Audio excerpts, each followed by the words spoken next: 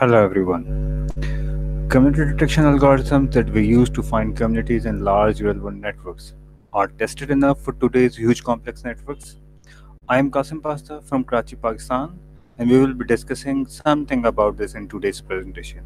My apologies for not attending the conference in person due to visa issue. Uh, hard luck. My it's my bad luck. Uh, I'm really missing you guys.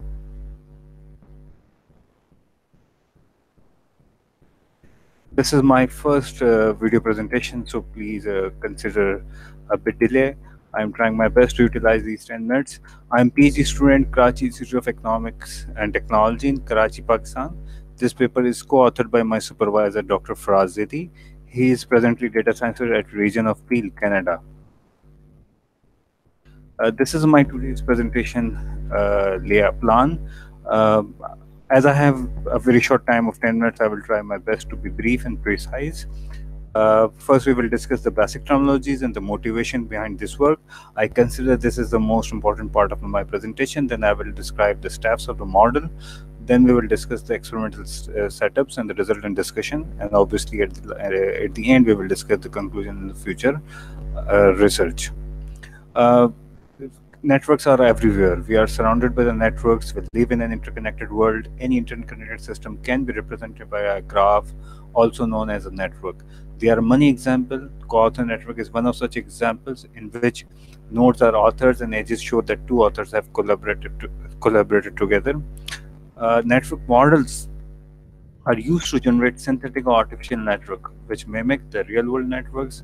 After the groundbreaking discoveries of a small world and scale-free network in the late 90s, researchers, uh, researchers have actively pursued the development of network generation models and a number of net models proposed. These network models help us in understanding the structural properties such as associative mixing, presence of hierarchies, and presence of communities. These models also help us to understand or to uh, to analyze or to uh, the impact of different dynamic processes such as epidemic, epidemic spreading and influence mining. Importantly, these models also help us to understand the dynamics behind the formation of a network. We can also use these models to generate benchmark graphs, and we will discuss this about in a while evolution of a dynamics, uh, uh, the underlying mechanism through which a network evolves is actually termed as the evolution dynamics. Uh, these evolution dynamics help us to understand how real-world networks attain certain, structural properties. For example, preferential attachment explains why degree distribution follow the power law. The similarly, triadic closure explains the presence of high clustering coefficient in, an, in any network. Uh, let's talk about something about the benchmark graphs you want to evaluate the community uh, the performance of community detection algorithm there can be two approaches. We can run uh, any community detection algorithm against a real world data set uh, with prior information about the ground truth communities so when we run the community detection algorithm we can compare the result of community detection algorithm with the prior ground truth communities we have. In this approach we have to rely on small data set uh, such as uh, we know one of the common small set data set is uh, Karate Club uh, data set. Why the small data set we have, why do we have to rely the one problem is unavailable of ground truth for the large networks and another problem if we have such huge network we the recently the few attempts made to extract the such huge network with the ground truth communities but how to define those communities is actually an issue. Uh, so these ground truth communities actually behave inconsistently for different definition of communities so another approach could be is actually to generate synthetic network with the ground truth communities. Uh, so we, we we can use uh, the network models to generate synthetic network with the ground truth communities. There is a one important things we need I need like to mention is that there are a number of models available in the literature that generates network with community structure, but those models do not discuss how to attain the information about which node belongs to which community, and also do not discuss how we can generate different kind of communities from these models. So I, I can safely say okay, the network models with community structure actually is not equivalent to benchmark. So these these models cannot be used as a benchmark graph. The two most commonly used actually uh, to generate bench uh, models to generate the benchmark graphs are the Jian Gremon-Newman benchmark graph and Lancichinetti Fortunato-Radicchi uh, benchmark graph, which is also known as the LF, LFR benchmark graph. Uh, basically GN benchmark graph has a lot of limitations such as one of the some limitation is 128 it's limited to 128 node divided into only four groups okay uh, so this is the one limitation LFR don't have this kind of limitation. You can create a huge network using the LFR benchmark graph. You can create a network of predefined distribution. May you may generate a network with a power law following uh, with an, a network of degree distribution following the power law. Uh, but the problem with LFR is actually what we believe is the configuration model. LFR do not use evolution dynamics. Uh, so this is the one of the problem we may face. We, we I, I say with the LFR benchmark graph. But before jumping into LFR benchmark graph, let's talk about the build, building blocks of a network. Uh, we all understand actually uh, networks evolve on the basis of different dynamics. Different uh, different networks may have the different kind of dynamics. Let's assume if we have a two, two, two different networks, two, uh, two different networks, the same sizes, similar structural properties, but can we can we say that these two networks are actually having the similar kind of the building blocks uh, or they may have a similar kind of evolution dynamics this is the question let's say uh, both are the small world and scale free networks having the similar average path length similar clustering are they built from the similar evolution dynamics for example if we talk about a co-author network uh, in a co-author network, we expect induction of the cliques as a number of co-author contributed together result in formation of cliques in the network. Where in the case of an airport transport network, we introduce a single node with some some edges with some edges in the network. So so we, we say these are two kind of network these two kind of networks actually are are, fo are following the different kind of dynamics. So let's see here we actually uh, extracted uh, the two different network. One is a collaboration network a co-author network and one is the air transport network of cities. So we actually extracted the at the maximum five percent of their maximum degree and we can see clearly that uh, the building blocks of the both networks are pretty different here we can observe the both networks broken into different kind of pieces. Let's say uh, let's say them the building blocks of these network. Co-author co-author network is heavily consisting of the cliques contrast to air transport networks as we discussed a minute before. So here here we talk about the motivation behind this work. So we learned that underlying mechanism behind the formation of these networks, the evolution dynamics plays a crucial role in shaping of structural and topological properties of a network. So it is an important question to raise that whether the network generated from model which do not consider these dynamics are the right candidates to test the performance of community detection algorithm. Remember the community detection algorithm are supposed to run on the real world networks which are built through different evolution uh, different evolution dynamics. So this is the question we would like to raise. This is the actual motivation behind this work. So in this paper actually this study is the result of a uh, of a of, uh, it's a result to seek answer of these questions. We propose a model to generate benchmark graphs. Uh, that is a graph with the community structure and ground truth communities based on evolution dynamics. We studied whether such model can generate network with the desired structural properties or not, and we compare the performance of community detection algorithm for the proposed model and compare it with the LFR benchmark. We didn't use the GN benchmark because we know it's a, it's it's very limited in terms of the size, and we wanted to test for the larger networks at least of size of thousand nodes. So, so let me come to the proposed model. Uh, but before uh, describing uh, before describing the steps of the proposed model, let me explain about the parameters. So this model you are using um, uh, one, two, three, four, five parameters. Uh, first parameter is actually very important. It's about the quality of communities. We we we name it as a mixing parameter. So this actually control which kind of communities are need to be generated in your network. I'm skipping the further parameter uh, due to the limitation of time. Uh, so let's talk about the model. Model is actually consisting of two steps. One is the setup, another is the growth. In setup, actually, we introduced the C triads. Okay, we introduced a number of uh.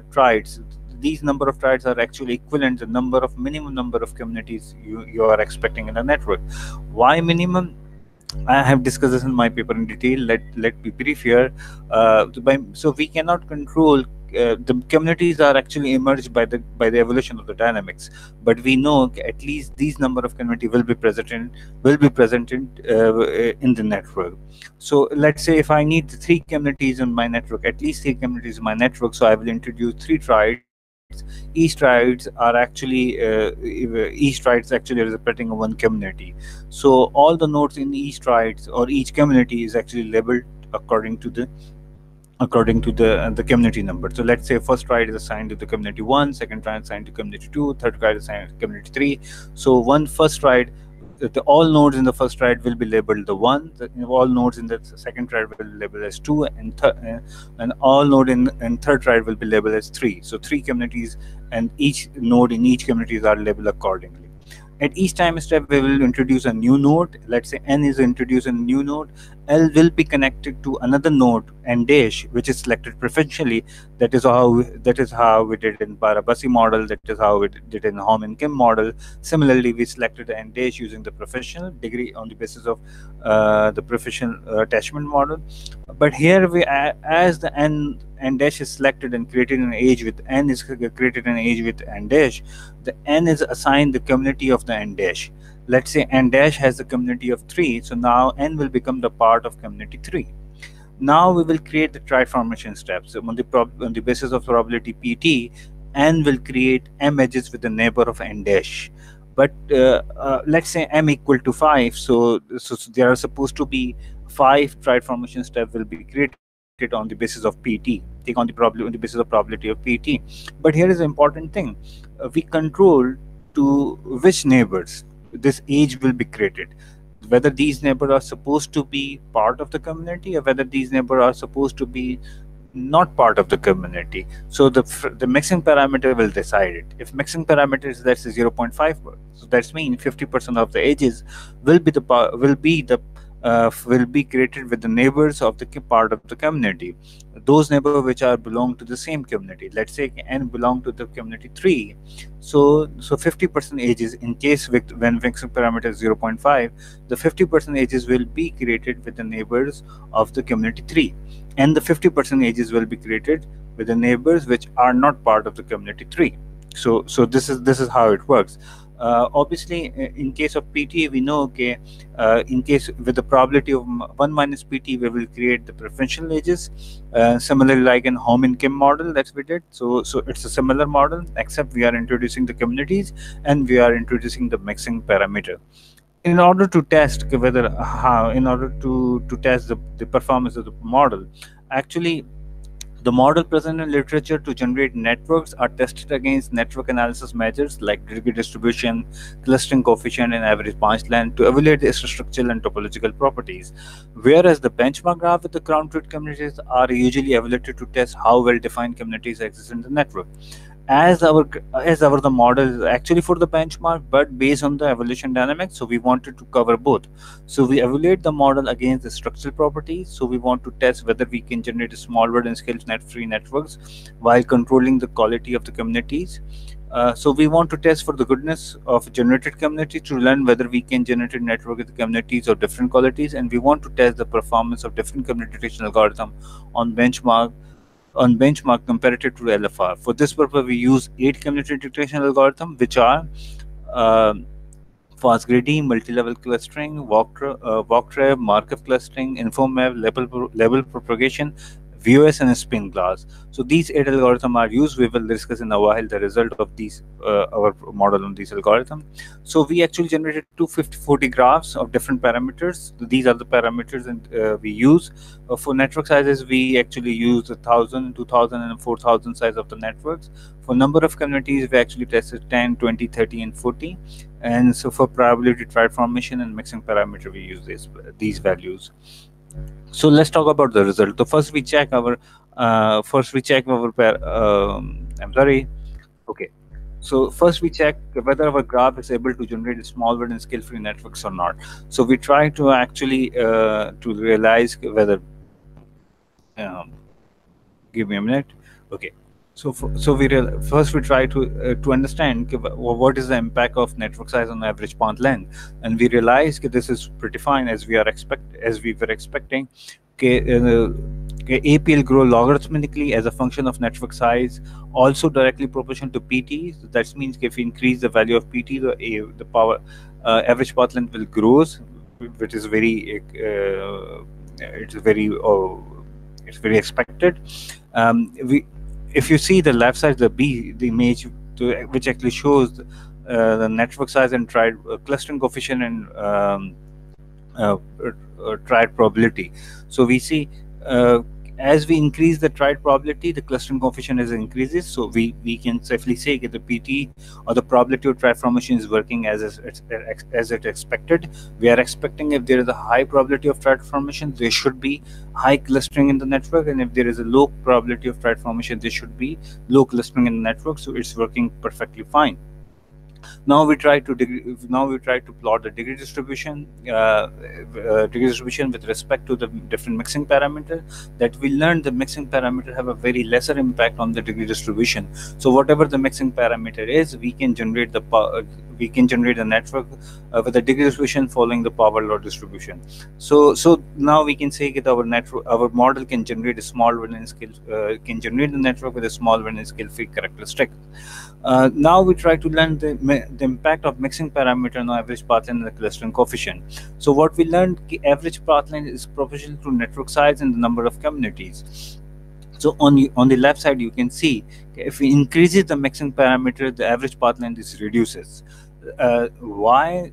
It, it is it is very obedient if we are increasing the mixing parameter so actually we are creating lot of edges with the other communities. So overall path line is supposed to be very low. But if we are decreasing the average uh, mixing parameter that means a very less number of edges are expected with other communities. So obviously apl seems to, apl should grow. So this is very uh, this is very fine. This is expected result. Uh, if we if we see the uh, mixing parameter and clustering coefficient relationship so as we increasing the mixing parameter we see the clustering coefficient is reduces. Why? Again, if we are increasing the mixing parameter, that means we are connecting with the other neighbors. So, so if we are connecting with the other neighbors, so so so neighbors of other communities, so there are less chances that we are uh, dense. We will we, we won't we won't have the dense uh, components. So this is very obvious this is very expected. Uh, so the one question we raise actually by for ourselves, are this model is good enough even after including the mixing parameter and the communities to generate the real world networks. So we try to uh, to generate two real world networks. One is, one is the air transport network another is the political book networks. Uh, in paper i have described uh, we which parameter we use. Here i am just explaining i am just giving you the idea okay this uh, model is actually able to generate the similar networks as the real world network so so now we move toward the communities. So so whether the communities are actually generating and whether the mixing parameter is, is working as expected as far as the community is concerned. So we use the modularity to quantify the presence and quality of community structure. You can see as the mixing parameter increases regardless the number of size of communities the communities quality or the modularity actually decreases. So this is pretty expected. Uh, we want as the, uh, we know as we will increase the mixing parameter we are actually degrading the value of the communities. We are expecting more more edges outside the communities than inside the communities. But as we reduces the mixing parameter this means we are expecting more edges inside the communities. So we are expecting the better quality of the communities. Well separated communities you may say. So so so so mixing parameter is working as expected. So in order to as there are different definition of the communities uh, so so we would like to see whether our model able to fit uh, which kind of definition of the communities. So here you can see the result of, of, of a size of 4000 network but the similar result we observed here you, we are actually uh, we are actually drawing uh, we are actually plotting for top 20 communities for the different value of mixing parameter. So you can see easily that the red line which actually shows the mixing the, the mixing parameter of value 0.2 so at, for every kind of definition of community the, the the red line is above. So that's mean for for lower mixing parameter for for whatever the definition you decide either you said separability density clustering coefficient and loyalty these are different definition of the communities which i discuss in my paper uh, the mixing parameter is working fine.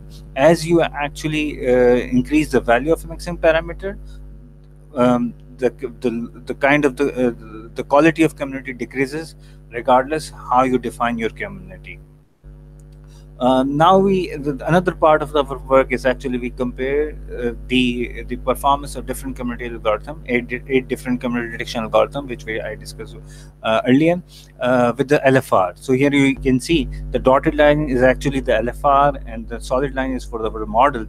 Um, uh, this is actually the, the, average of for all instances so it's one picture which actually shows the performance of all the eight different community detection algorithm one thing is pretty clear as we are increasing the mixing parameter the performance of community detection algorithm are degraded. That's pretty fine. There is no issue as the communities are not good enough. So we are not expecting communication algorithm to work fine. That's pretty fine. But the one important thing is actually the lfr it seems to be more sensitive than the our proposed model. That's mean computation algorithms do not behave similarly for both classes the benchmark. The benchmark which are actually generated uh, using the evolution dynamics are not much sensitive than the benchmark which actually do which actually generated through the one of through without using any evolution dynamic are more sensitive to the mixing parameter so this is just i am not saying which benchmark is good or bad and or which communication algorithm good or bad but i am just saying the communication algorithms are actually behaving differently for both classes of the benchmark. This is something we need to be, uh, we need, this is something is very alarming for us. Here you can see the individual performance result. Uh, on the on the left side, there are the four algorithms which are which are actually behaving the which actually showing the similar behavior. Okay, LFR is more sensitive, but somehow the behavior is similar for for LFR and our proposed model. But on the right side, if you see, the, the, the, these algorithms are behaving differently. Uh, for example, if you if you look at the VOS, so VOS in case of VOS, LFR is becoming less sensitive as we are in increasing the mixing parameter. It is performing better, uh, uh, uh but uh, for our proposed model, it is not true. So so so I just want to make sure. I just want to make a point. Okay, the the, the communication algorithms algorithms, uh, communication algorithms are no be not behaving similarly for both benchmark graphs. So we may say, so let me conclude my my thing, my um, presentation here.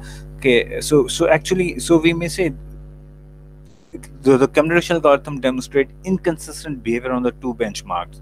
The the one of the one of the uh, model proposed by us which is actually based on evolution dynamics and one we use lfr which actually not using any evolution dynamics. So computational algorithm are demonstrating the different behavior for both of them.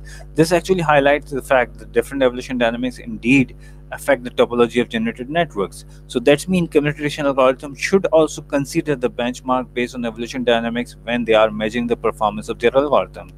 Uh, I want to conclude this uh, this presentation here. Uh, we want to extend this study to impact other dynamics of the community detection algorithm. There are a number of more dynamics. Actually, we consider only two dynamics, which is the preferential attachment and triadic closure. But there are further dynamics available in that literature for the community detection for for for network generating uh, community based uh, for net for generating networks uh, with the presence of communities. So, what if we consider those uh, dynamics as well? So, how the community detection algorithm are behave are going to behave on this the another uh, the feature that actually we are uh, thinking to work on is actually or we, one may extend this uh, research further. By using these benchmarks by using these different evolution of dynamics we may investigate reason behind behind the behavior of computational algorithms. This uh, uh, this difference in the behavior of computational algorithm uh, now i would like to thank you all um, thanks for considering my this presentation. Uh, I would like to, I would love to answer any query. I, uh, this is my email address. I, I, I, I will be available I will love to answer any query. Thank you, everyone.